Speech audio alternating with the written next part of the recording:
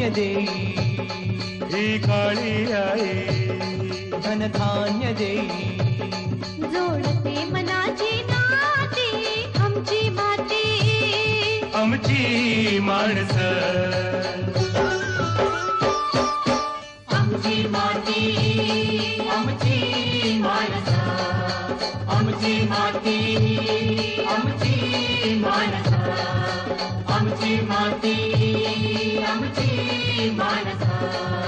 आमची माती आमची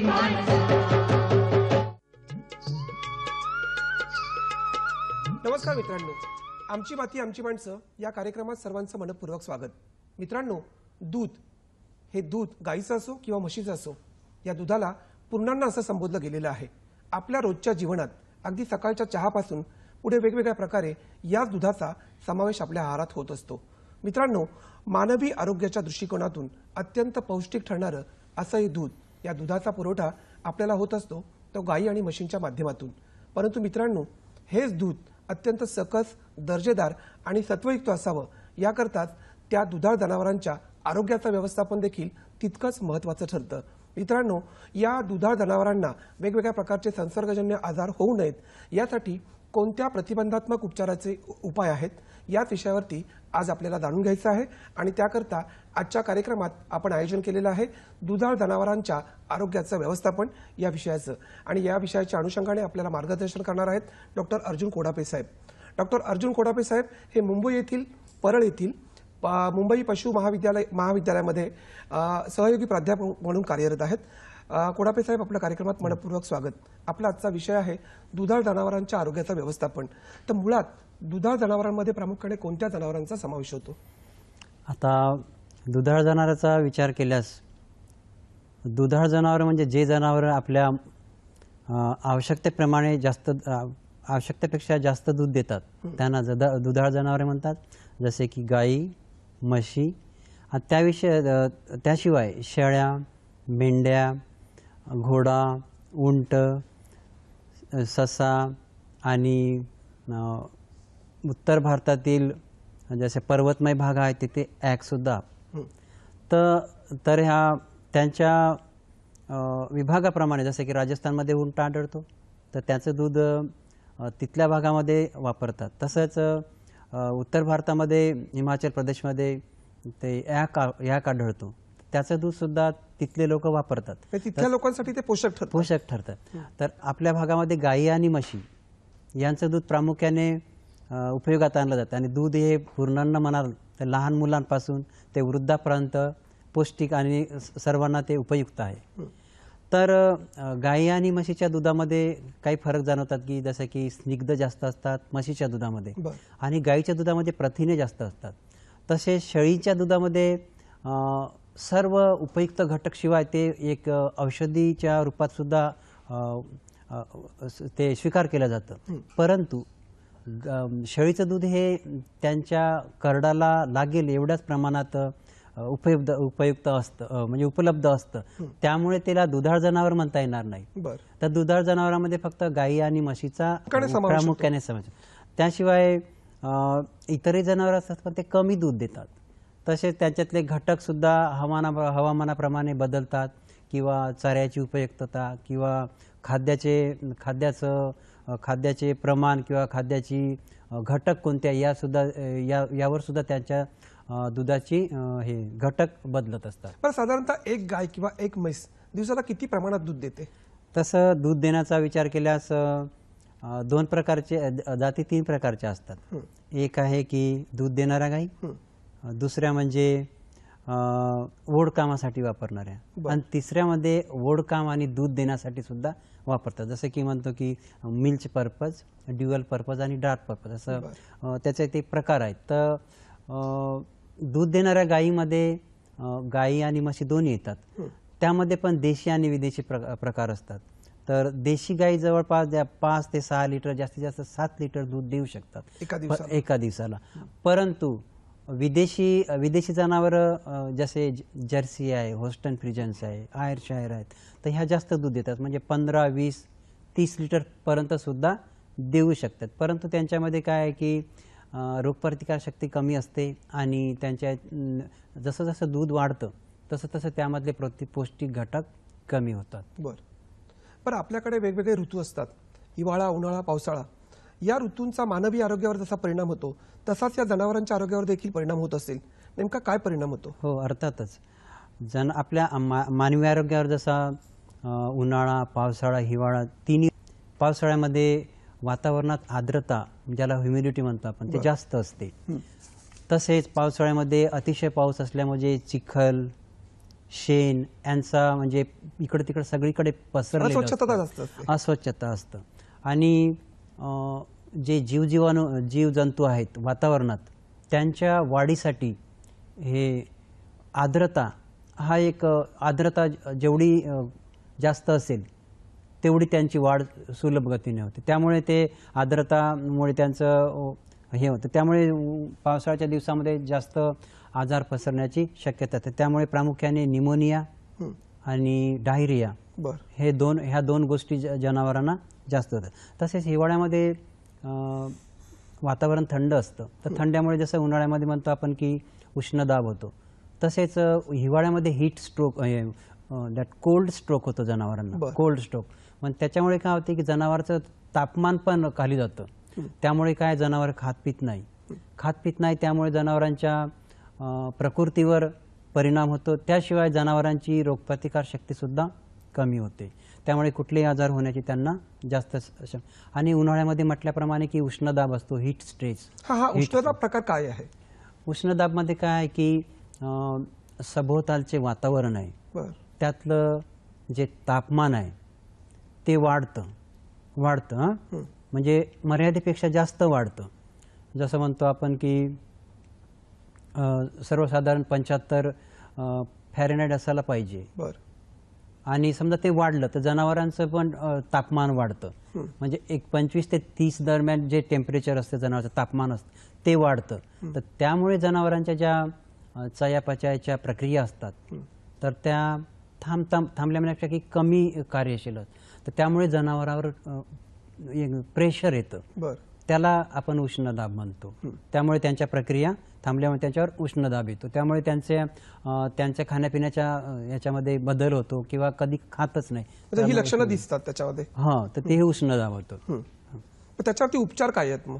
उष्णदाब हं. आता उष्णदाब म्हणजे अं, जसं वातावरणाच्या म्हणजे तापमान वाढलं समजा तर आपल्याला जनावराला बरेच काही असे परिणाम दिसतात. त्यासाठी आपल्याला उपचार म्हटलं तर जनावराला थंड पाणी देणे. थंड पाण्याचा पाणी विशेषतः दिवसभरातून पंचवीस ते तीस लिटर जनावराला लागते प्यायला लागते. आणि धुवाला पण लागते. तर ते पंचवीस ते तीस लिटर त्याला पाणी द्यायला पाहिजे. आणि आवश्यकतेप्रमाणे. आणि उन्हाळ्याच्या दिवसात ब- शरीरावर शिंपडण्यासाठी पण पाणी लागतं. तर द्यायला पाहिजे. असं दुसरी गोष्ट म्हणजे जनावरांची जनावरांना शेडमध्ये ठेवावं. शेड म्हणजे सावलीमध्ये झाडाच्या सावलीत किंवा उपयुक्त आपण गोठा असा तयार करायचा की ज्यामुळे खेळती हवा राहील.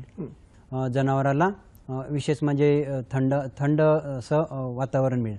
तिसरी गोष्ट आहे की ज्या काही तुमच्या दिवसाच्या ॲक्टिव्हिटीज आहेत जनावरांच्या संबंधी जसे की ओळख चिन्ह देणे आहेत किंवा त्यांना खच्चीकरण करणे आहे किंवा ट्रीटमेंट आहे किंवा इतरही गोष्टी आहे त्या म्हणजे सकाळी सकाळीच करावे. जेव्हा की वातावरण जे आहे ते थंड असतं. त्या त्या त्या कालावधीमध्ये करावं म्हणजे उष्ण उष्णतेच्या वेळेस जनावराला बाहेर काढू काढू नये. जेणेकरून ही स्ट्रेसचा परिणाम होईल. बरं उन्हाळ्यामध्ये साधारणतः उष्णदाबाचा परिणाम जनावरांच्या आरोग्यावरती होतो. हे आता आपण सांगितलं. परंतु आणखी कोणते असे आजार होऊ शकतात जनावरांना? किंवा संसर्गजन्य आजार असतात. तर ते फक्त संसर्ग झाल्यामुळे होतात. बर. तर उन्हाळ्यामध्ये काय की जनावरांची रोग प्रतिकार शक्ती जी आहे ही कमी होते. कमी होते. कमी होते म्हणजे कसं की उष्णता वाढली तर जनावरं खात नाहीत. त्यांचं तापमान वाढतं. त्यांचं ते हृदयाचे ठोके वाढतात. श्वासोश्वास वाढतं. तर यामुळे काय ते जनावर खात पित नाही. त्यांना जास्तीत जास्त पाणी शरीरातलं ते हे द्रव जे जे लेवल आहे पातळी आहे ती ती खालावल्या जाते. त्यामुळे जनावर खात पित नाही त्यामुळे त्यांची रोगप्रतिकार शक्ती ही कमी होते. बर. तर त्यामुळे जे संसर्गजन्य रोग आहे जसे की जीवाणूजन्य रोग आहे जसे एच एस आहे ज्याला आपण हिमोरोजिक सेस्टिमी सेक्स्टी सेप्टिसिमिया म्हणतो फासी. आणि तोंडखुरी पायखुरी त्याला एफ एम डी म्हणतो. तसेच ब्ल्यू टंग आहे. तर हे जे काही जनावरच आहे हे आजार आहेत हे जनावराला होऊ शकतात. अच्छा पण मग हे आजार होऊच नाहीत. त्याकरता प्रतिबंधात्मक असे काय उपचार आहेत? प्रतिबंधक उपायासाठी लसीकरण. म्हणजे आता लसीकरण कसं असते? आपल्याला वर्षातून एक किंवा दोनदा असं. सर्वप्रथम लसीकरण का बरं करावचं बर. तर हे काय जनावराची रोगप्रतिकार शक्ती टिकून राहावी. किंवा रोगप्रतिकार शक्ती वाढावी यासाठी आपल्याला दरवर्षी लसीकरण करायचं असतं. तर कसं उन्हाळ्याच्या म्हणजे पावसाळ्याच्या शेवटीला एकदा करतो आणि हिवाळ्यात करतो. तर तर कुठले कुठले प्रामुख्याने जे आता मी आजाराचे नावं सांगितली जसे एफ एम डी आहे. म्हणजे लाळखुत किंवा खुरकुत असं म्हणतात. तसेच फाशी आहे. तर तर या रोगाचं आपण या दोन तीन रोगाचं आपण लसीकरण करतो. उन्हाळ्याच्या शेव पावसाळ्याच्या शेवटीला. तर हे वर्षातून दोनदा लसीकरण. आता आजकाल तर हे वॅक्सिनेशन जे आहे लसीकरणाचे जे लसी आहे त्या एकत्र येतात. दोन आणि तीन आजाराच्या लसी एकत्र येतात. त्यामुळे म्हणजे वेगळं वेगळं करण्याची वेगळं वेगळं लसीकरण करण्याची आवश्यकता नाही आहे एकदाच केलं दोनदा केलं तरी दोन आजाराचे एकदा सर्व आजारांवरती एकदाच लसीकरण करणं? म्हणजे दोन आजाराचं जसं आहे की एच एस आणि एफ एम डीचं एकत्र येतं. किंवा बी क्यू आणि एफ एम डीचं एकत्र येतं. तर ते आपल्याला प्रत्येक आजाराचं वेगळं वेगळं करायची आवश्यकता नाही आहे म्हणजे वर्षातून दोनचदा करायचं परंतु दोन हजाराचं एकदा परत दोन हजाराचं एकदा आणि एकाच. तर असं म्हणजे दोन दोनदा आपल्याला करायचं असते.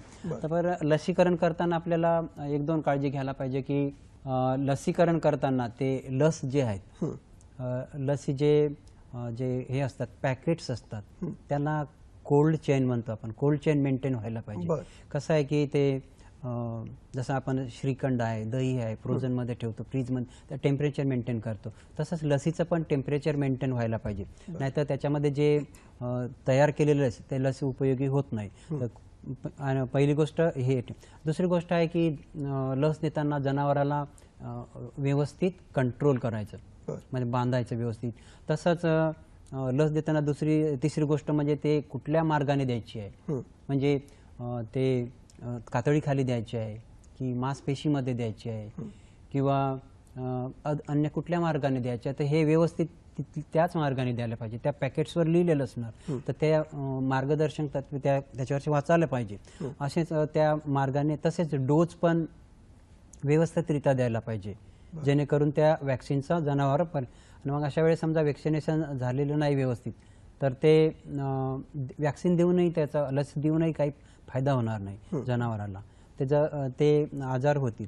तसेच आजाराच्या बाबतीत जसं झालं की कुठलेही आता हे विषाणूजन्य आहे जीवाणूजन्य आजार आहेत. तर त्यांचा एक स्पेसिफिक पिरियड असतो. त्या कशा कशाचा? त्या जीवाणूंचा. त्यांची ग्रोथ इन्क्युबेशन पिरियड म्हणतो.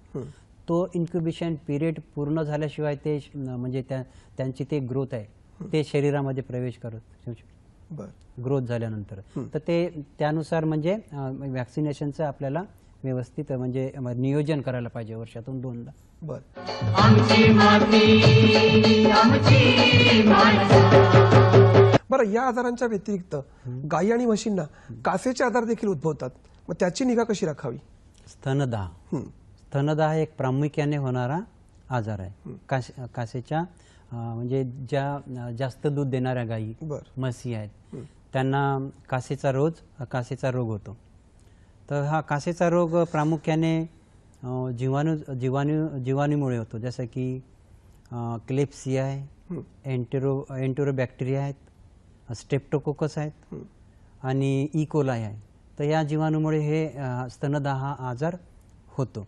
तर कशामुळे होतं की समजा कासेची निगा व्यवस्थित घेतली नाही. कासेचे बे प्रकार आहे हं. एक गोलाकार कास असणार. एक लांब असते. लांब लांब जेव्हा कास असते तर अशा प्रकारच्या जनावरांना जेव्हा आपण बाहेर चारायला नेतो तर ती कास झाडाझुडपांना लागतं. बर. अशी म्हणजे तर त्यामुळे काय होते स्क्रॅचेस येतात. क्रॅचेस येतात. तर क्रॅचेस आल्यामुळे काय त्या क्रॅचेसमधून जीव जीवजंतूचा शिरकाव होतो. आणि त्यामुळे तो रोग जनावरांना होतो. तर हा रोग होऊ नये म्हणून कासेची काळजी कशी घ्यायची की कास दूध काढण्यापूर्वी.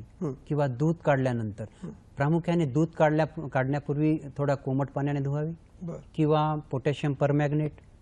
किंवा बेंजेनिक ॲसिड येते. त्याच्याने ते कास धुवावी दूध काढण्यापूर्वी तसेच का दूध काढल्यानंतर ती कास स्वच्छ कपड्याने पुसावी. आणि जो दूध काढणारा व्यक्ती आहे त्याला ती फार महत्वाचं आहे हा त्याला ती दूध काढण्याची टेक्निक्स म्हणजे स्किल माहीत असणं गरजेचं आहे. नाहीतर फॉल्टी मेथड वापरली समजा तर जनावरांच्या कासेवर जे एका आमच्या जनावरच्या ते दूध काढण्याच्या तीन पद्धती आहेत. एक पूर्ण हात पद्धत आहे. बर. एक स्टिपिंग स्टिपिंग स्टिकिंग आहे आणि एक नकलिम सुद्धा पद्धती आहे. आणि एक मशीन मिल्किंग आहे. तर हे सर्व सर्व ज्या दूध देणाऱ्या गायी किंवा म्हशी आहेत तर त्यांना फक्त फुल हँड पद्धतीच वापरायला पाहिजे. फुल हँड पद्धती म्हणजे काय ती वासरू जसं दूध पितं जसं ते व्हॅक्यूम क्रिएट होतं आणि दूध येतं. त्याप्रमाणे हे फुल हँड मिल्किंग मेथड कार्य करते. तर काही काही जे दूध काढणारे व्यक्ती असते त्यांना सवय असते की नकलिंग नकलिंग ही मेथड नाही आहे दूध काढण्याची. तर. ती कसं आहे? एक हाताचा असं वापरून अंगठा प्रेस करून दूध काढतात. तर काय होतं की ते सड असतात ना? सडावर जास्त ताण येतो. तर ताण आल्यामुळे का तिथे जखम वगैरे होऊ शकतो. होऊ शकते. आणि हे जखम झाल्यामुळे जनावरांना संसर्गजन्य आजार होऊ शकतात. तर ते हे दूध दूध काढण्याची मेथड सुद्धा प्रामुख्याने ती वापरायला पाहिजे. दुसरी गोष्ट कास जे आहेत. कासाला धुतल्या दूध काढल्यानंतर टीट डिप्स असतात. बर. टीट डिप्स म्हणजे टीट डिप्स म्हणजे काय असतात? एक सोल्युशन असतं. लिक्विड म्हणजे केमिकल सोल्युशन असतं. त्यामध्ये त्या सडांना आपल्याला डुबवायचं असतात. दूध काढल्यानंतर. की जेणेकरून ते जे काही दूध राहिलं त्या त्या सडांमधून ते कुठलेही जीवाणू किंवा विषाणू आतमध्ये जाऊ नये. म्हणून ते सड त्याच्यामध्ये डुबवल्यानंतर ते त्यांचा प्रादुर्भाव होत नाही. तर याप्रमाणे काळजी घेतली तर दु- ते कुठल्याही सड तस तसेच म्हणजे सडा सड जे आहेत समजा मस- स्तनदा झालं. तर सड जे आहेत ते लाल कलरचे होतात. त्याच्यावर अशी सूज येते. हं. आणि गरम असते. जेव्हा आपण आपण जेव्हा सडाला याला हात लावू ना कुठे कासेला तर कास जरा गरम वाटते. आणि लालसर येते. आणि कधी कधी दूध येण्याऐवजी त्याचे गुठल्या येतात दुधाच्या. आणि कधी कधी पस येतो रक्त येते. आणि जरा जनावर ते दुखत असल्यामुळे हात लावू देत नाही कासेला. तर यासाठी यासाठी म्हणजे व्यवस्थित काळजी घेतली तर हे होणार नाही. बरं अनेक प्रकारच्या रोगांचा प्रसार हा गोठ्यांच्या माध्यमातून होतो. मग गोठ्यांची काळजी कशी घ्यावी?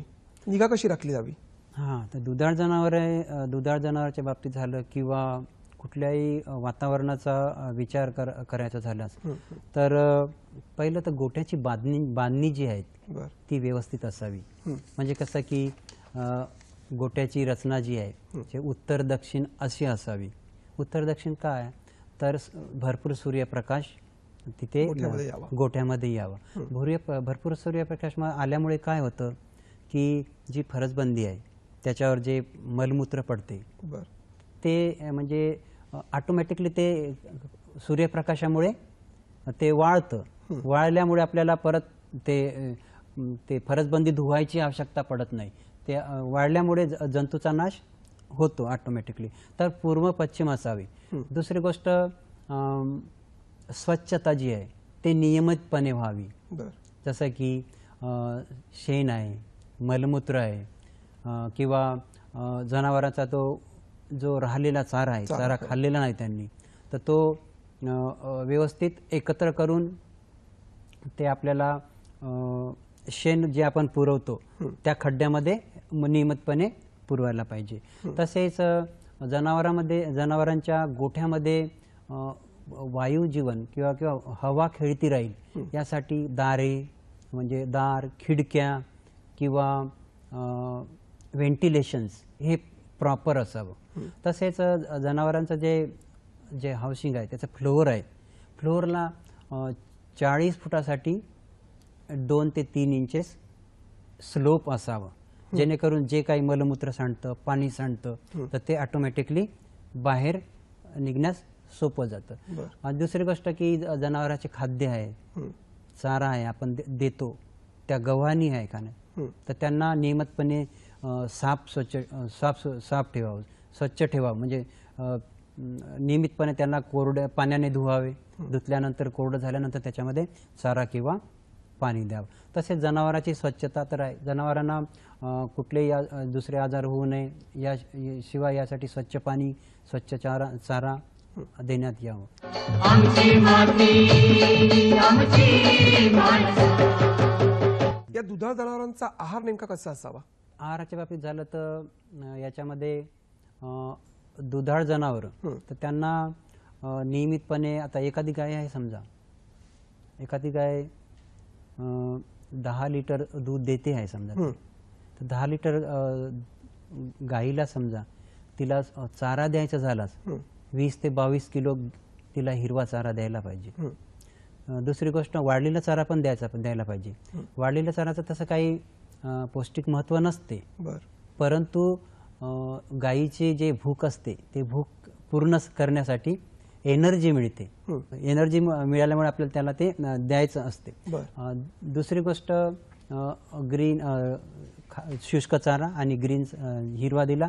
नंतर आपल्याला कॉन्सन्ट्रेट द्यायचं आहे. कॉन्सन्ट्रेटमध्ये काय? आहे? खाद्य आहे. खाद्य. ज्यामधून अ, अ, ग- गायीच्या शरीरातून सगळे पौष्टिक तत्व दुधाद्वारे निघून जातात.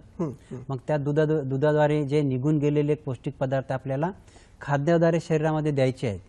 तर त्यामुळे गाई दहा गाय समजा दहा लिटर दूध देत दूध देत असेल तर तिला पाच किलो खाद्य दररोज द्यायला पाहिजे.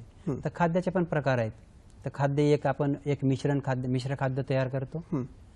मिश्र खाद्य तयार करून किंवा रेडीमेड पेलेट फॉर्ममध्ये पण अवेलेबल असतं. परंतु मिश्र खाद्य जे असतं हा काय प्रकार आहे मिश्र खाद्य? मिश्र खाद्यामध्ये काय आहे की वेगळ्या वेगळ्या प्रकारचे इन्ग्रेडियंट्स असतात. इन्ग्रेडियंट म्हणजे काय? की आता खाद्य तयार करतो आपण. तर प्रामुख्याने एक भुसा असतो. भुसा म्हणजे काय असतं? गहू काढल्या गहू आपण दळल्यानंतर जो त्याचा उरलेला जो भुसा असतो. तो असतो. तर तो पचनास पचनास मदत करतं. तसंच तूर चुनी असते. तूर मग तूर चुनी काय असते की तूर आपली तूर असते तुरीची डाळ असते. तूर चुनी डाळ काढल्यानंतर एक कवर असतं त्याला तूर चुनी म्हणतात. तर मेज चुनी असते. मक्याचं पावडर असतं. आणि तूर चुनी मूग चुनी उडद चुनी असे हे निरनिराळे घटक घेऊन जे खाद्यपदार्थ खाद्य तयार करण्यात येतं मिश्र खाद्य. त्याला मिश्र खाद्य. शिवाय यामध्ये मीठ मीठ टाकायचं असते. आणि मिनरल मिक्सचर आणि व्हिटॅमिन मिक्सचर टाकायचं असते. कारण याच्यामध्ये सगळं आपण जे काही सांगितलं त्याच्यामध्ये व्हिटॅमिन्स किंवा मिनरल नसतात. तर ते आपल्याला बाहेरून तर बाजारात ते मिनरल किंवा व्हिटॅमिनचे पॅकेट्स मिळतात किलो अर्धा किलो एक किलो दोन तेही किलो आपण. वापरू तर शकतो. ते याच्यामध्ये अ, त्या वजनाप्रमाणे त्याच्यामध्ये टाकायला पाहिजे असं खाद्य दिलं अ, तरच जनावरांची दूध देण्याची क्षमता ही वाढू शकते. कायम राहते कारण अशा वेळेस आपण समजा दूध दिलं अ, जनावर दहा लिटर दूध देते आणि तिला कमी आपण खाद्य दिलं तर ती दूध देणार नाही व्यवस्थित शिवाय आप- मी जे पाच किलो सांगितलं हे तर दूध पाद उत्पन्नासाठी शिवाय त्याला एक किंवा दोन एक एक किंवा दीड किलो त्याला बॉडीचं मेंटेनन्स करायचं आहे यासाठी पण वेगळं अर्धा किलो किंवा एक किलो किंवा दीड किलो एक्स्ट्रा रेशन द्यायचं असतं. नक्कीच. ते मेंटेनन्ससाठी. कोटापे साहेब अगदी शेवटचा प्रश्न. या दुधाळ जनावरांच्या आरोग्याचं व्यवस्थापन योग्य प्रकारे व्हावं अगदी थोडक्यात आपण शेतकऱ्यांना काय सांगाल? उन्हाळ्याच्या दिवसात. म्हणा किंवा कुठल्या याच्यामध्ये जनावराला थंड पाणी प्यायला द्या. दुसरी गोष्ट आहे की कूलर्स फॅन्स मिस्टर्स फॉगर्स म्हणजे उष्ण तापमान वाढल्यामुळे यामुळे जस जन- जनावरांना स्ट्रेस होणार नाही. तर यामुळे त्यांचं तापमान प्रामुख्याने व्यवस्थित राहील. यासाठी या या गोष्टीचा उपयोग करा. तिसरी गोष्ट आहे म्हणजे आहे की मी सांगितल्याप्रमाणे ज्या ॲक्टिव्हिटीज आहेत त्या थंड थंड वातावरण म्हणजे का थंड दिवसाच्या थंड वेळेत कराव्या. जसे की नवीन जनावर आणलं आहे समजा तर त्याची वि- विशेषतः काळजी घ्यावी. तर त्याच्यामुळे हिस्ट्रेसचा कुठलाही परिणाम आणि व्हेंटिलेशन आणि हे जे वायू जीवन आहे यांच्या हवा खेळती राहावी. खेळती राहावी. व्यवस्थापन करणं गरजेचं आहे. मित्रांनो गाई किंवा म्हशी या गाई किंवा म्हशींना आपण गोधन असं म्हणतो. गोधन अर्थात आपली संपत्ती. ही संपत्ती मानवी दृष्टिकोनातून अत्यंत लाख मोलाची अशीच आहे. मित्रांनो म्हणूनच या गायी आणि म्हशींचं सुयोग्य असं आरोग्याचं व्यवस्थापन होणं हे देखील फार महत्त्वाचं असतं. त्याकरता योग्य वेळी या गाई म्हशींचं लसीकरण होणं महत्त्वाचं असतं. त्यांच्या गोठ्यांची स्वच्छता राखणं महत्त्वाचं असतं. शिवाय त्यांना कासेचे विकार होऊ नयेत म्हणून मानवाने देखील स्वच्छता राखणं गरजेचं असतं. वेगवेगळ्या प्रकारे त्यांच्या आहाराची काळजी घेणं देखील तितकंच महत्त्वाचं आहे. ही सगळी जर काळजी घेतली तर मित्रांनो या गाई आणि म्हशी यांच्यापासून आपल्याला सकस दर्जेदार आणि सत्वयुक्त असं दूध मिळू शकतं आणि पर्यायाने मानवी आरोग्य देखील सुदृढ राहू शकतं. कोडापे साहेब आपण कार्यक्रमात सहभागी झालात आणि दुधाळ जनावरांच्या आरोग्याचं व्यवस्थापन या विषयासंदर्भात इतकी विस्तृत माहिती दिलीत. त्याबद्दल मुंबई दूरदर्शन केंद्रातर्फे आणि आमची माती आमची माणसं या कार्यक्रमातर्फे मी आपले मनपूर्वक आभार मानतो. धन्यवाद. नमस्कार.